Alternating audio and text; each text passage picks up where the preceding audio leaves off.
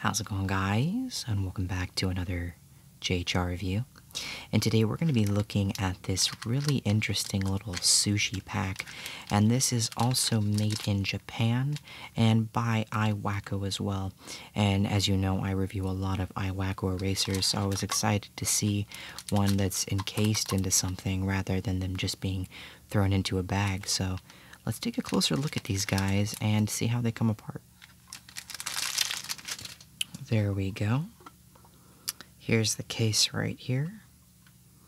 That's what the bottom looks like. It almost looks like it has kind of a gold underlay. Interesting. Then we just remove the lid. And let's see what these are.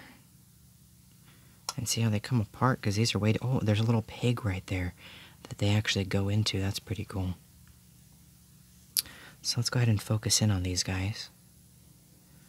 So it looks as though we have some fish eggs on top. Similar design to the larger one, there's no rice underneath.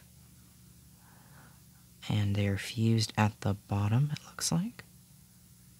With a little tiny leaf that goes right here, some kind of uh, vegetable right there. So that's pretty cool. We have some more of these guys, I believe. We've reviewed them before. It looks like it's coming out in multiple pieces, though. Let's put them back together. Here's this one. I'm not sure what it is. Maybe it's uh, scrambled eggs on top of rice. Yeah, looks pretty good. So this one is the salmon.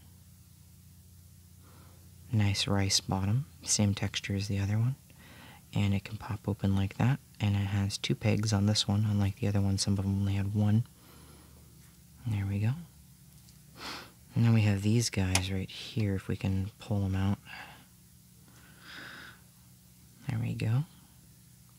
And I know you guys helped me in the comments below, but I totally forgot what these guys are again. I'm pretty sure this is the one you guys helped me with, too. I'm not good at remembering stuff. We have some classic, looks like salmon rolls right here. We can pop that out. And I'm not sure if these come apart. There's multiple layers right there. Can you see that? It's like a little kind of area for it to go in. But I don't have the confidence to say that I could get this. Yeah, it's a three piece. So the center is separated along with the edges. I just don't have the confidence to like try to rip that out. I probably rip the eraser into pieces. And put that back down in there. And then let's take a really nice kind of overview of it. And this is what it looks like with everything in there. And I noticed something a little bit ago. This actually spins, kind of like you could, you know, pretend it's a miniature revolving sushi bar. But this also comes out as well. So you can see where all of the little pigs are kind of inserted. And then you could kind of have it on your own nice little uh, golden platter.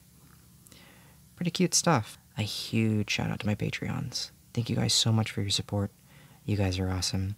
If you enjoyed this video, don't forget to comment, rate, and subscribe. And as always, I'll see you in the next video.